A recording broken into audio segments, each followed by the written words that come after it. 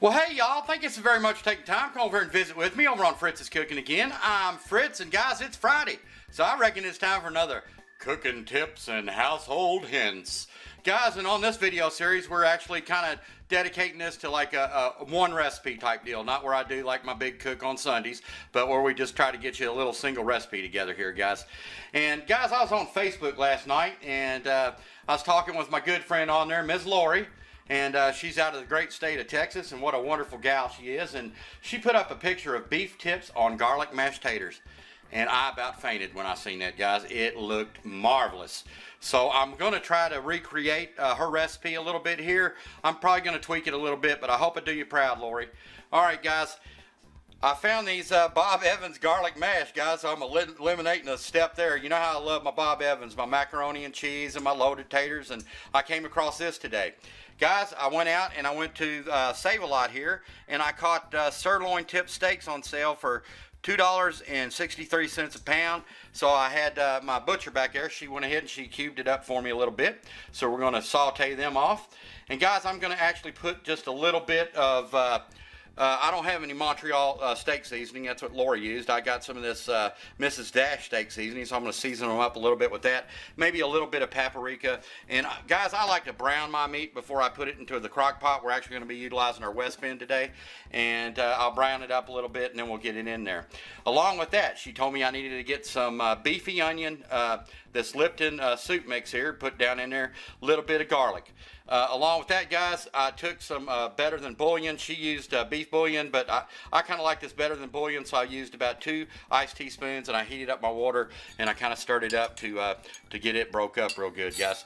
So, guys, I appreciate y'all watching and uh, let's get busy. Let's try to do Miss Lori proud. All right, okay, guys. guys, went ahead and I took my sirloin tip that I had cubed up uh, over here to my plastic container here, my Ziploc container, and I'm merely just going to uh, add some seasoning to it, guys. And here's my paprika. We'll put a little bit of paprika in there, and uh, I'm going to go ahead and use some of the Mrs. Dash steak seasoning.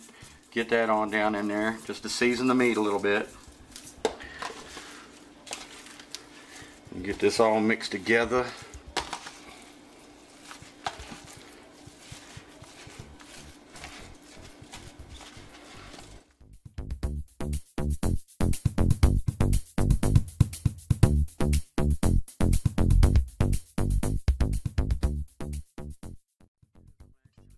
Of garlic here. About an iced teaspoonful. Get it on down into my grease. Maybe maybe about an iced teaspoon and a half. All right, guys. You got to watch this stuff, or it'll it'll it'll burn on you. But all I'm merely doing here, guys, is flavoring my oil. Giving it that garlic flavor.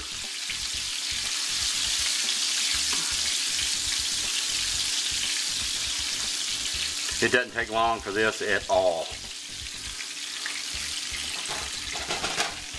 All right, guys, let's go ahead and incorporate our meat.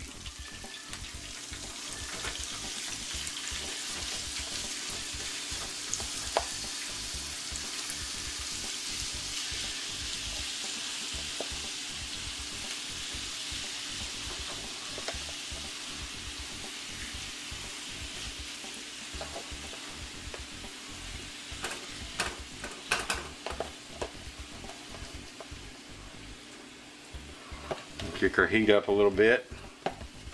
And I'll stand right here with it and I'll watch it, guys.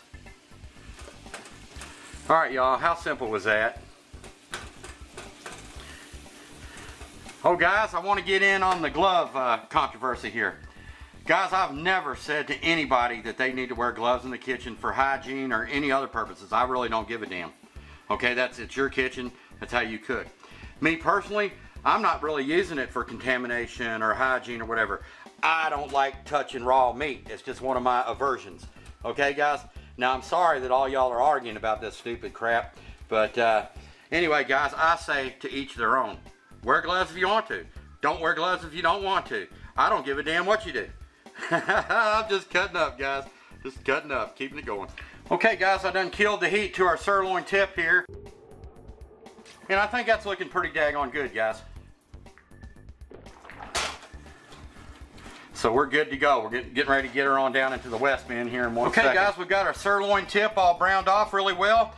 And guys, I'm not going to drain this. There is a ton of flavor in that, that the oil, which we infused with garlic, and the drippings that actually came out of the uh, out of the sirloin tip itself. So I'm going to reserve all this. All right, guys, let's go on and get that down into the pool. Okay guys, we got the west Bend plugged in and I've got her turned on high just for the moment here. I want to get it rolling first. But we've got our sirloin tip that we uh, had cubed up over here. And guys, we uh, actually did it up with a little bit of garlic, a little bit of Miss Dash, uh, a little bit of uh, paprika, and we and we browned it off in some canola oil. And I added the entire thing that was in that pan to this because it's chock full of flavor, guys. All right, Miss Lori said that she likes to use uh, beef bouillon. Now guys, I prefer this better than bouillon. It's a reduced sodium beef base. This stuff is pretty strong, guys. And what I'll actually do is I'll take my Pyrex and I'll heat up my water first, and then that way I can actually put this in there and it'll kind of like melt and blend in together, guys. Along with that, guys, Miss Lori said she likes to use, uh, basically, I guess it's this uh, beefy onion. That's the first time I've seen this, and uh, it, it, smells really well.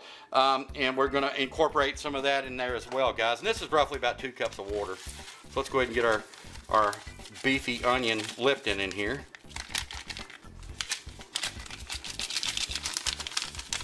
All right, guys, and what we're going to do is just give it a simple stir.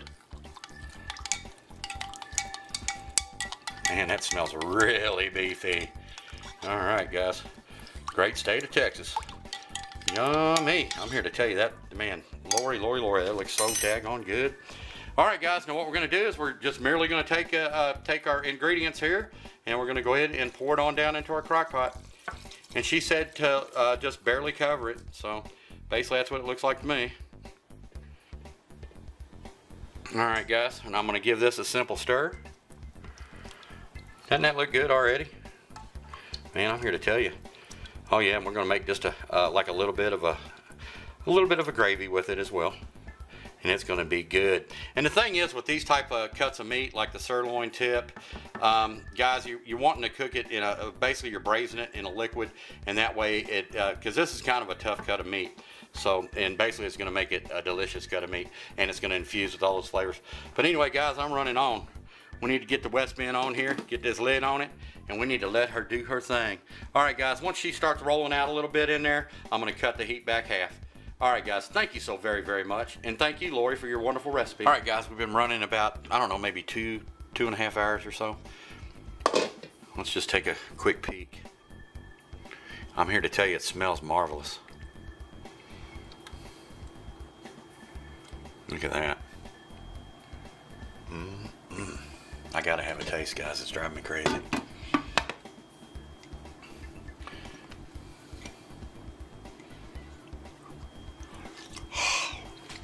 Oh, it's hot. Mmm. oh, it's delicious, Lori. Man, oh man, oh man, what a recipe. All right, guys, we're to let her do the thing just for a little bit longer. I think it needs to cook maybe about an hour or so longer, and uh, we're to be good to go. When next time you see us, we're to be at the table. All right, guys, we are done. Man, oh man, look at that, look at that. Mm -mm. All right, guys.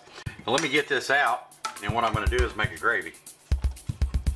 And I'm here to tell you this is just tender as tender can be. That's the only way to do this, this uh, cut of meat here, guys.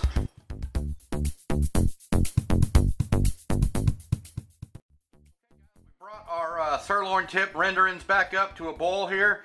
And guys, what I did was I just took a, I took a little bit of cornstarch here and I made a simple slurry, guys.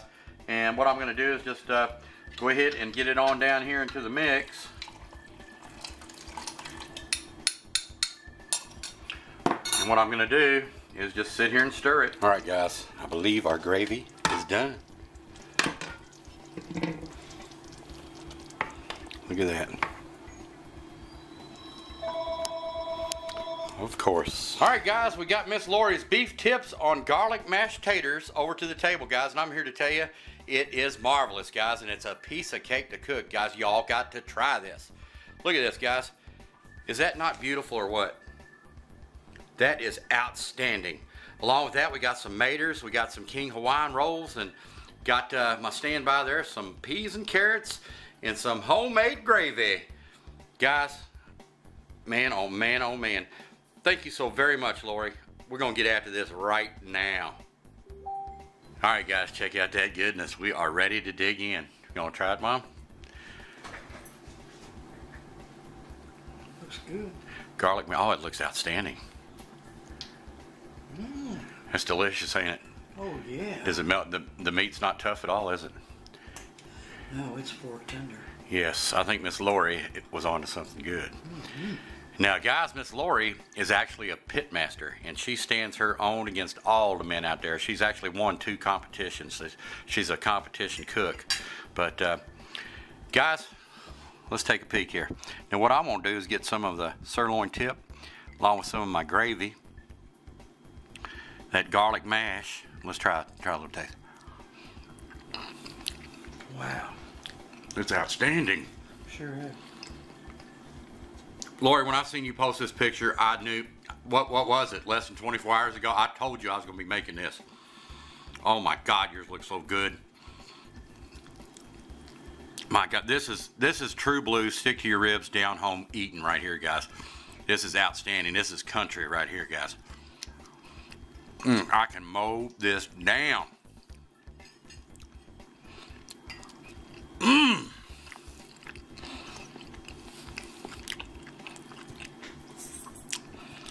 Look at that, guys. Next level yum.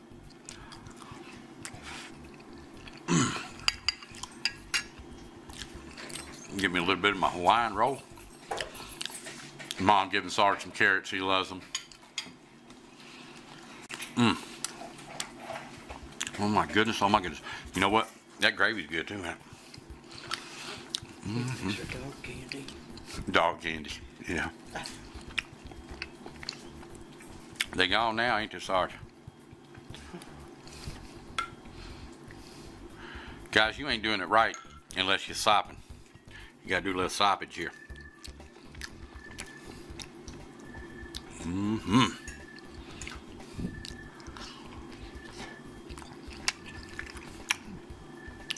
That's, that's one of the best meals I've had in a long Yeah. time. Guys, I'm here to tell you, Y'all got to do this. It's a piece of cake to do. You can do it with uh, a moderately priced meat. Like I said, I got that sirloin uh, tip, and they cut it up for me, and I got it for two dollars and sixty nine cents a pound. I got enough to feed five people. Uh, guys, the the taters. I went ahead and took a shortcut. I do love my Bob Evans, and they are really garlicky and they're really delicious. So basically, guys, it's just stewing up that meat and making a gravy. I'm here to tell you. And just please take that step of, uh, you know, browning your meat first. I'm here to tell you that does make it a lot better. But uh, anyway, guys, thank you so very, very much for stopping by over on Cooking Tips and Household Hints. It means the world to me, guys. And one more time, guys, I wanted to say thank you so very much, Miss Lori. It means the world to me, and I appreciate it so very much. You have a wonderful, wonderful recipe. Everything I've seen you post is just outstanding. Makes me hungry. and I hope one day to try some of your barbecue. And I really would love to try some of that barbecue sauce. All right, y'all. I reckon we're going to holler at y'all soon. Bye.